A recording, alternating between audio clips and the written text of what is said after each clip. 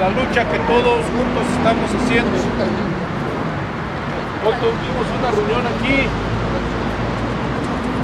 y vamos a seguir viniendo y vamos a seguir estando donde sea necesario para sacar adelante nuestras luchas y nuestras resistencias, como la de nosotros y como la de mucha gente, como la de los compañeros de Atenco, de los Yankees, de muchos que están luchando como nosotros y que ha quedado bien claro que solamente de esta forma, solamente venir aquí para decirles sus verdades, solamente de esa forma van a poder entender y poder sacar adelante nuestros expedientes. Les agradecemos a todos, deseando que regresen los que no van a Xochicauta y los que quieran ir, pues también, aunque no sean allá. Y los que no van para allá, pues que regresen tranquilamente, váyanse con cuidado para que lleguen bien. Muchas gracias, compañeros.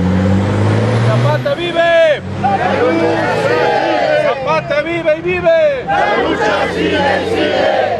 Cuando el pueblo se levante Por pan, libertad y tierra.